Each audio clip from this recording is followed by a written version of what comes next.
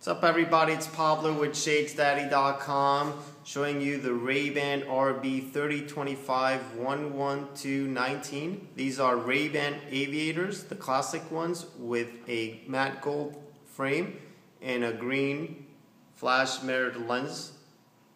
And these frames are made in Italy and they come in two different sizes 55 which I'm wearing right now and a 58 which is a medium which I'll put on right now so you can see the difference. And these are the 58 millimeter which again is a medium for this frame.